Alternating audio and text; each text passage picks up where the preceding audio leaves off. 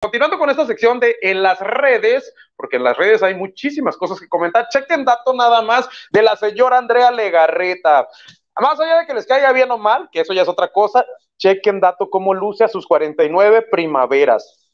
Y como lo decía al inicio del programa, mucho mejor para mi gusto, aclaro, que cuando estaba joven, ¿no? Entonces, como los buenos vinos, esta chica o esta señora, pues muy, muy guapa, no sé qué piensen al respecto. Ahí les compartimos estas imágenes que por supuesto también circulan en, en, internet. Entonces, pues miren, un abrazo si está viendo el programa, ¿verdad?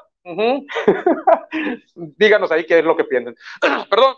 Y otra cosa que también resurge en redes y que me llamó mucho la atención. ¿Se acuerdan ustedes del chavo metalero? Él eh, de origen argentino. Eh, pues bueno, miren, ahora él es, si no, si no tenían conocimiento o si no se, se, acordaban, se llama Phil Claudio González. Él es el chavo metalero de origen argentino. Como les dije, pues miren, aparte de que está haciendo presentaciones con su grupo eh, de metal, pues ya hace también presentaciones en convenciones de cómics y cosas por el estilo ya vestido tal cual como el chavo del ocho. ¿Y cómo se ve ya disfrazado o eh, teniendo el traje que eh, el emblemático Roberto Gómez Bolaños portaba? Miren, ahí les damos un entre de cómo luce ya ahora sí con, eh, miren, lleva el chavo pequeño, cómo luce ya disfrazado como tal, miren nada más. Esta es la imagen de este argentino que al principio, según yo, saben lo que ustedes recuerden, como que no le gustaba mucho que le dijeran que se parecía al desaparecido Roberto Gómez Bolaños, pero a final de cuentas se dio y ahí hay algunas de las imágenes.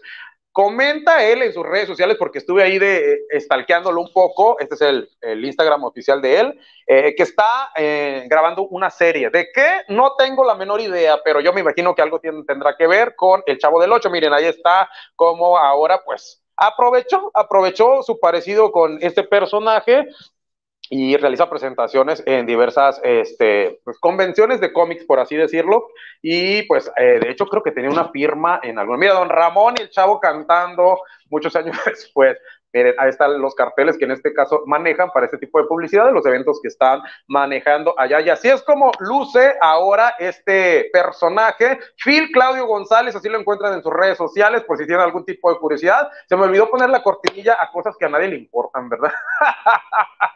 Pero bueno, es lo que estuvo circulando en redes sociales, mi gente. Sigan enviando sus mensajes, los cuales nos retroalimentan bastante.